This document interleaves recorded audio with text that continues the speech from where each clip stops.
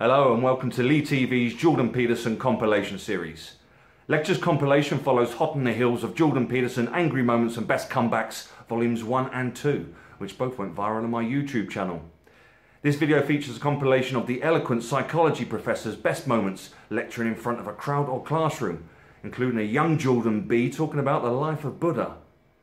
So sit back, relax, and enjoy Lectures compilation. There's this idea in Jungian psychology called the circumambulation. And Jung had this idea that you had a potential future self, which would be in potential everything that you could be.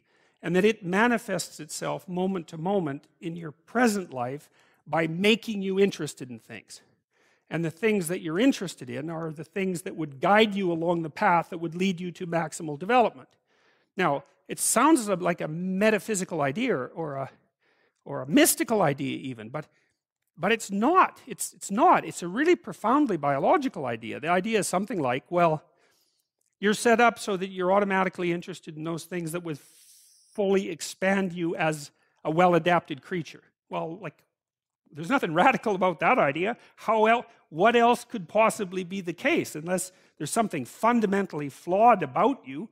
That is what the, the situation would be it's kind of interesting to think about how that would be manifest moment to moment, but the idea is something like, well, your interest is captured by those things that lead you down the path of development. Well, that better be the case. Okay, so that's fine. And so there's some utility in pursuing those things that you're interested in. That's the call to adventure, let's say. So, and the call to adventure takes you all sorts of places. Now, the problem with the call to adventure is like, what the hell do you know? You might be interested in things that are kind of warped and bent. And often it's the case that when new parts of people manifest themselves and grip their interests, say, they do it very badly and shoddily. And so you stumble around like an idiot when you try to do something new. That's why the fool is the precursor to the savior from the, from the symbolic perspectives, because you have to be a fool before you can be a master. And if you're not willing to be a fool, then you can't be a master. I think it was Mark Twain, Samuel Clemens, I think, who said, one of the advantages to telling the truth is that you don't have to remember what you said. And that, God, that's worth listening to because. So uh, there's a bunch of things I've learned as a clinician. And one of them is because you're often in really weird situations with people if you're a clinician because things happen that don't happen normally and you don't know what to do.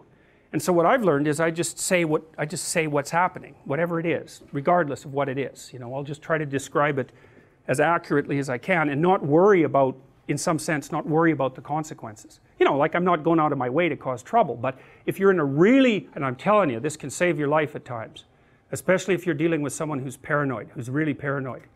You do not lie to someone who's paranoid and violent. Because as soon as you lie, you're aligned with the forces that are persecuting them. And they're going to be, because paranoia makes people hypervigilant, like they're on amphetamines, in fact, you can make pe people paranoid by giving them enough amphetamines. And you can make paranoid people more paranoid by giving them amphetamines. So they're hyper vigilant because they feel that everything is predatory and against them. And so they're watching you like you would not believe, way more than you're watching them. And if you flicker a lie while you're talking to them, and they're really on the edge, you, you're done. So it's, it's one thing to really know if you're ever in a really bad situation, and you don't know what to do. You tell the truth minimally. You don't disclose too much. That's just another lie. You tell the truth minimally and carefully and hopefully. And you might get out of it. You might get out of it. But if you falsify it, look the hell out. So the truth is a real, is a real mechanism of protection in dangerous situations. Buddha's father is visited by an angel who tells him that his son is going to grow up to be the greatest temporal, profane ruler the world has ever seen, or a great spiritual leader. And his father, being a pragmatic and conservative man, decides that there's no possible way I'm going to allow my son to take the ambivalent road of spiritual enlightenment. I'm going to allow him to fall completely in love with the world so that he will remain attached to his domain.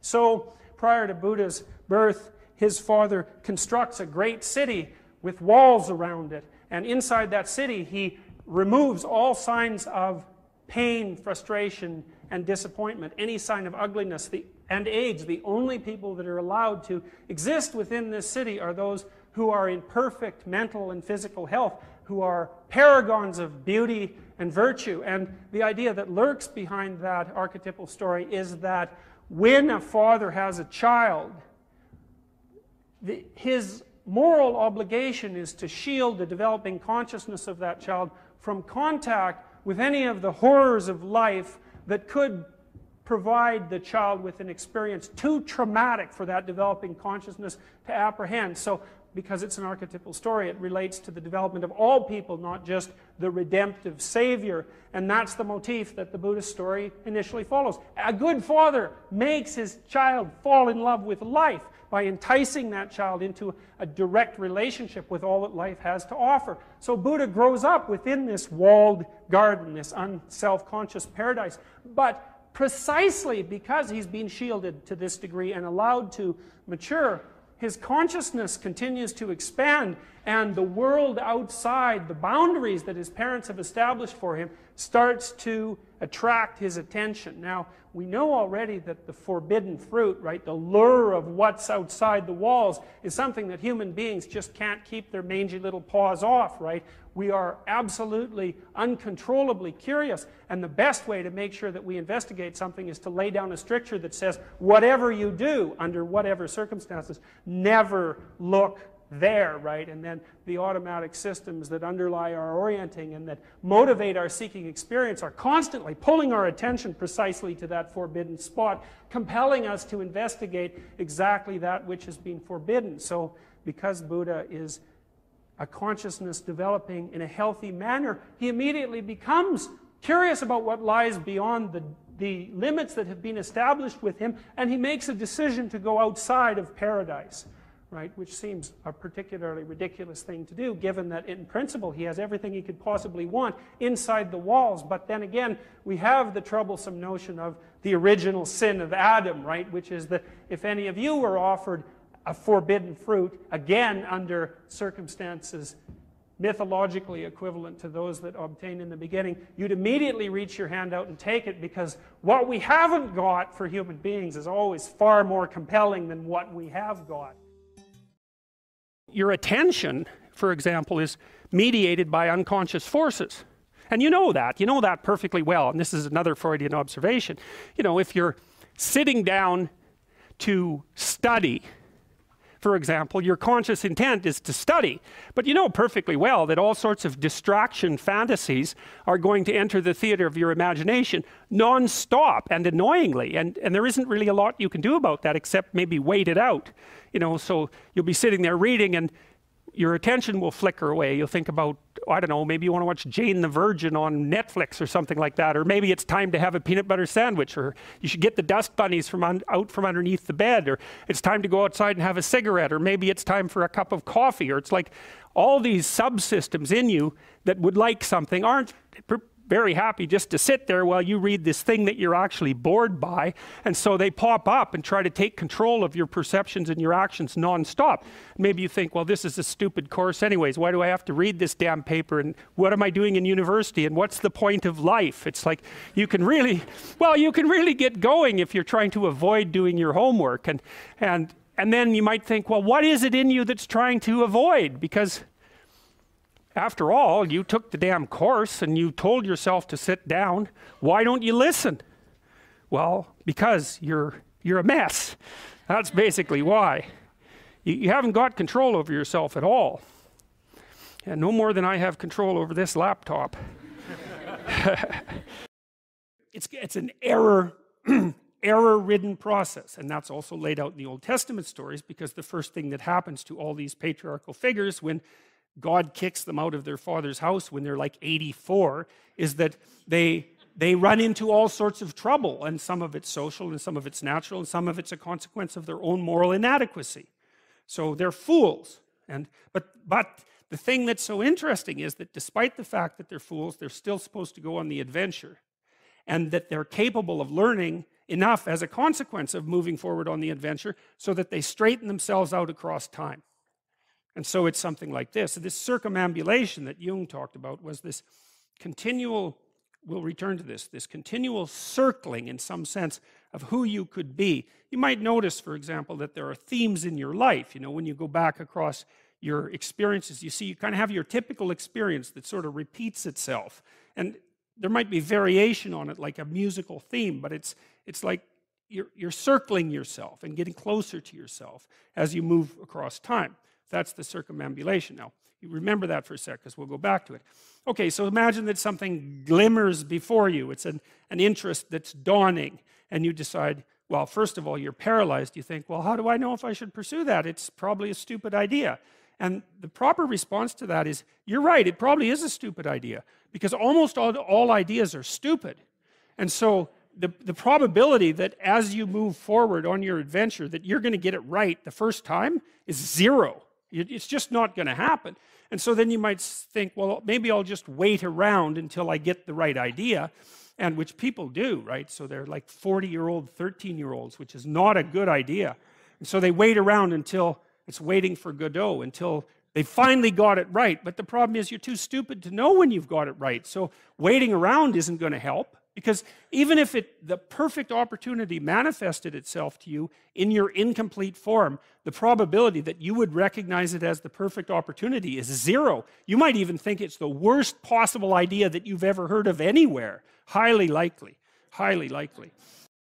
One time I was in an airport and uh, we were in this lineup to fly back to Canada that said international flights. And so it was a long lineup, like 50 people. And we got a I got about three from the front. There were still like 40 people behind me. And the guy behind the counter decided that he was just going to shut down the line and that we could all go to this other line, which was like 300 people long.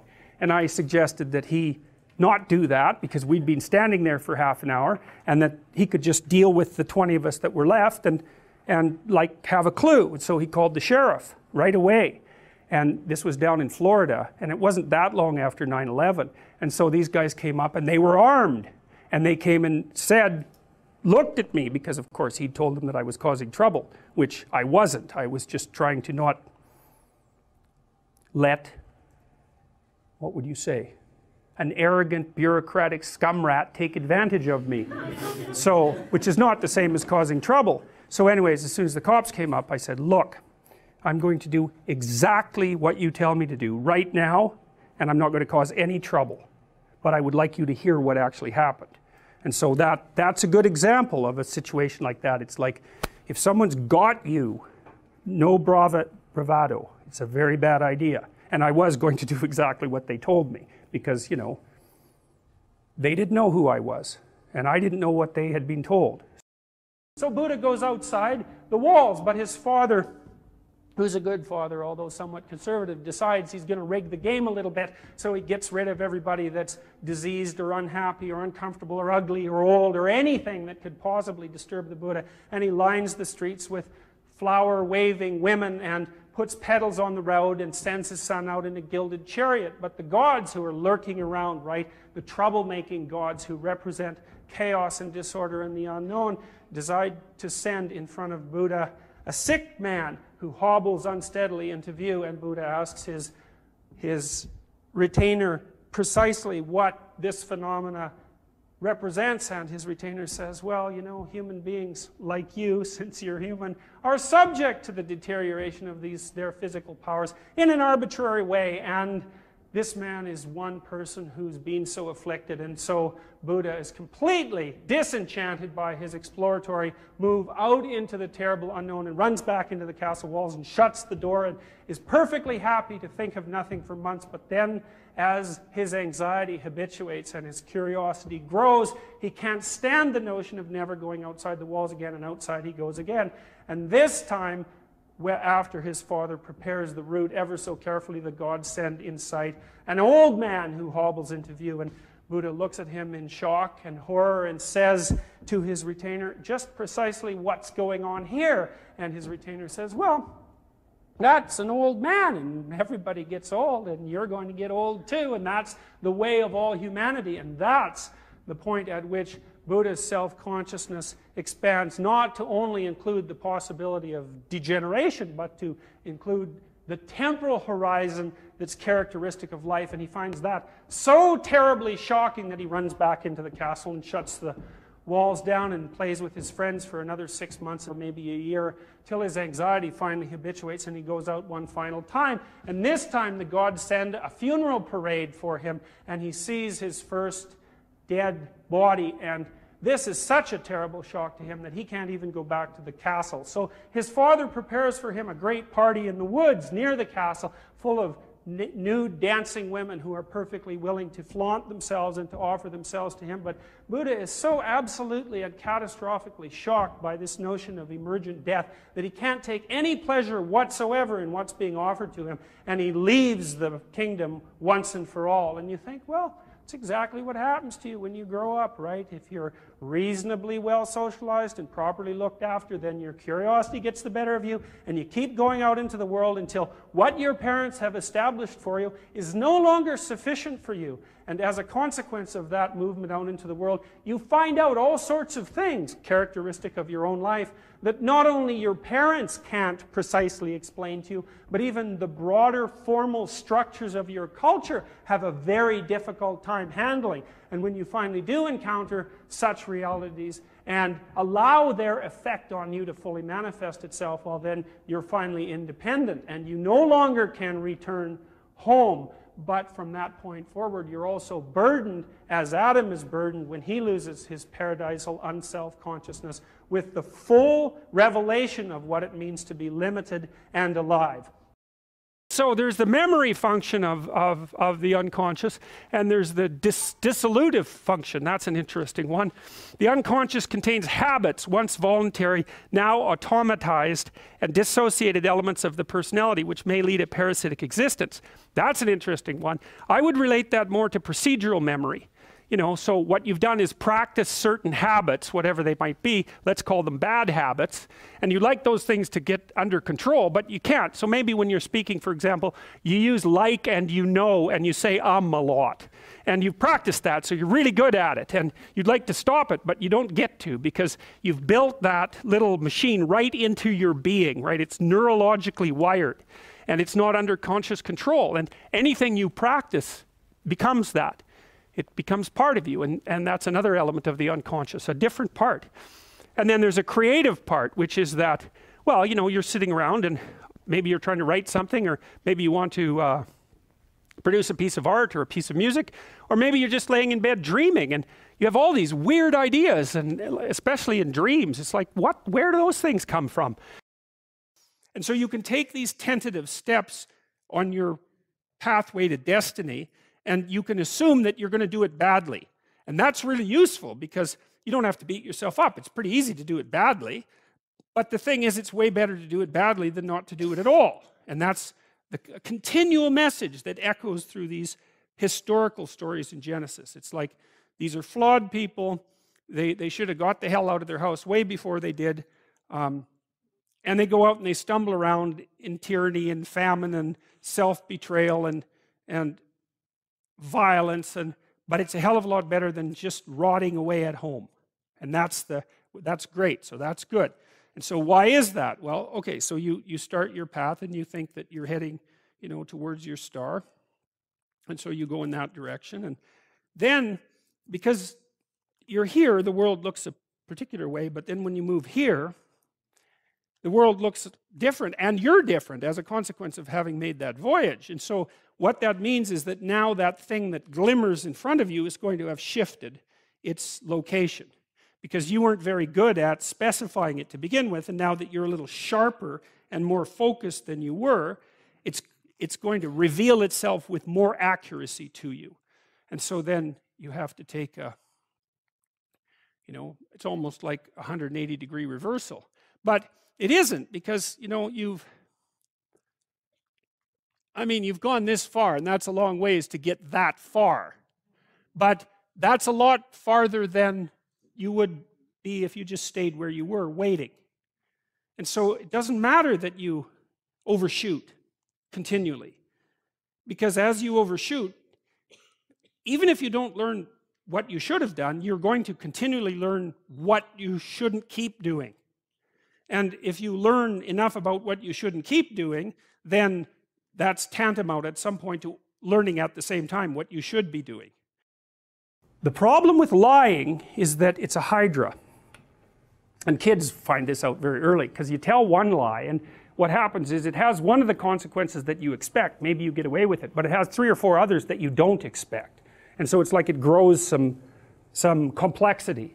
And then you have to tack a lie on each of those little complexity outcrops, and then they grow three more complexities, and soon this little lie turns into a great big ball of lies, and at some point it becomes painfully evident to everyone. And by that time, you're in such. You see this with politicians, like that guy who was sexting. Um, Anthony, Weiner. Anthony Weiner, yeah, perfect name for him, man. It's so funny. Uh, I, I, shouldn't make that comment because it's so obvious, but it's still funny. But, you know, he, that's exactly what happened to him. It's like, it wasn't even so much the event, because you know, people are stupid, they make mistakes, and actually the public is somewhat forgiving if you say, yeah, geez, I'm a real moron, and you know, like really, seriously, how could I do that? But I did, and like, I'll try not to do it again. But what happens with politicians is, and, and I'm not speaking specifically of politicians, is they'll make an error, and it gets exposed, and then they make three others trying to cover it up. It happened with Nixon, for example, and then the whole thing just turns into a complete scandal. And maybe they could have got out of it at the beginning by just telling the truth. It's like, yes, I'm an idiot. So, what happens to Buddha as a consequence of this revelation? He becomes an apprentice, and the chronicles of the Buddhist adventure are careful to say that he becomes the world's most proficient practitioner of Samkhya, which was a philosophical precursor to yoga, and then to yoga. So he masters all the positions and the asanas until he's disciplined physically to an almost unlimited degree. And then he decides that he'll adopt a stance of world renunciation, which is also something he's remarkably good at. And he starves himself until the chroniclers say he resembles nothing so much as a pile of dust. And then, having exhausted all the disciplinary structures that his sophisticated culture has to offer him, but still not precisely finding the answer that he's looking for, he retreats into the forest, a place of the unknown, and sits himself at the base of a tree. Underneath the tree, he's visited by visions and temptations. The first vision is an essentially erotic one. Life itself tempts him back out of his self conscious state into the domain of pure physical pleasure. A perfectly reasonable temptation, right? And one that's powerful enough so that Hindu philosophers say, as their churches and cathedrals are covered with erotic drawings, if you can't get past the erotic drawings into the church, that's the domain that you should still inhabit, right? In the dawning phases of life, at least till middle age, that's the appropriate mode of being, to be enticed and seduced by the physical pleasures that life has to offer. But in the final analysis, those are not sufficient to solve the problem of emergent self consciousness. And so the angel of death visits him and offers him the opportunity to exist permanently in a state of nirvana. A very, very interesting twist on the story because you have to wonder, given the association, say, between suicidality and the notion of paradise that exists underneath that, if what Buddha isn't being offered by the angel of death is in fact death and the cessation of all the problems of being, regardless. He rejects that attains enlightenment briefly, and then decides to return to the world to share what he's discovered with all of suffering humanity. The idea being that the Buddha, who is the awakened or enlightened one, is capable of attaining a transcendent state, but also knows fully that because human beings have a shared social aspect, it is not possible for any one person to attain redemption until all people attain redemption. One of the things that's really weird about dreams, and almost impossibly weird, is that you're an observer in the dream. It's like a dream is something that happens to you.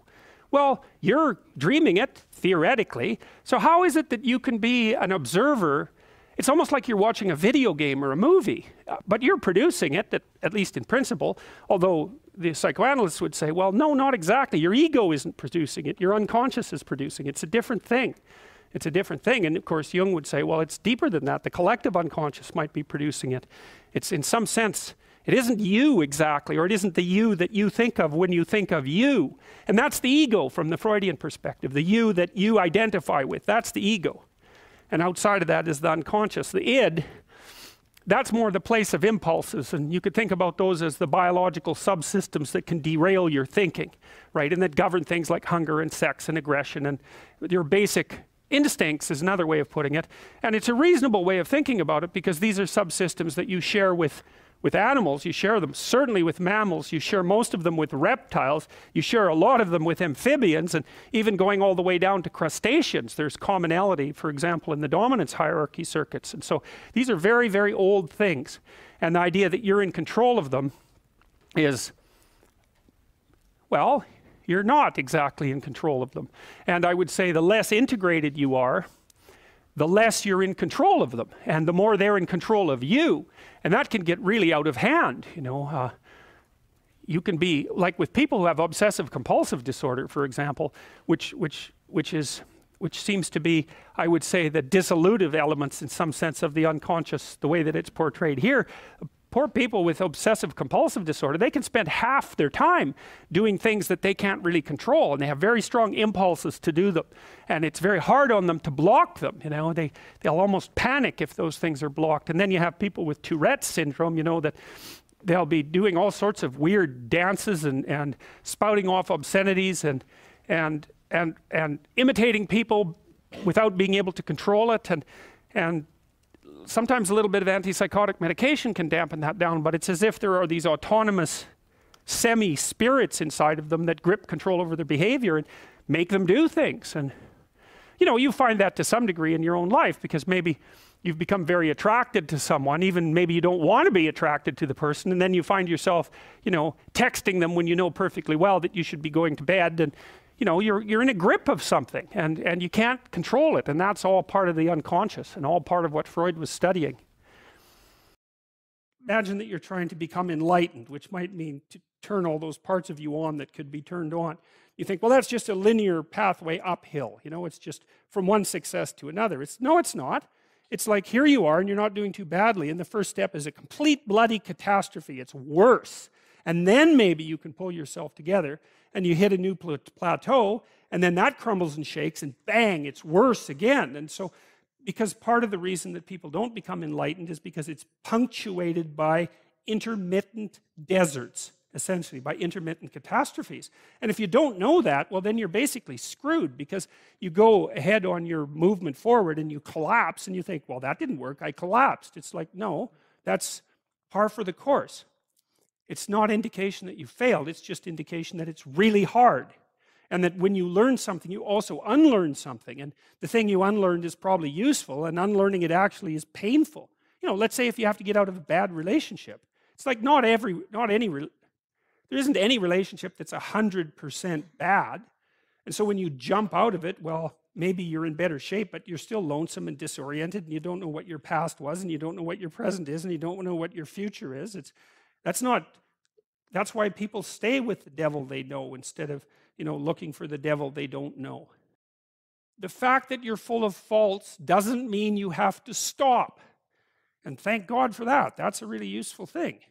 And the fact that you're full of faults doesn't mean that you can't learn. And so you can posit an ideal and you're going to be wrong about it, but it doesn't matter because what you're right about is positing the ideal and moving towards it. If the actual ideal isn't conceptualized perfectly, well, first, surprise, surprise, because like, what are you going to do that's perfect? So it doesn't matter that it's imperf imperfect. It just matters that you do it and that you move forward. So that's really, that's really positive news as far as I'm concerned, because you can actually do that, right? You can do it badly.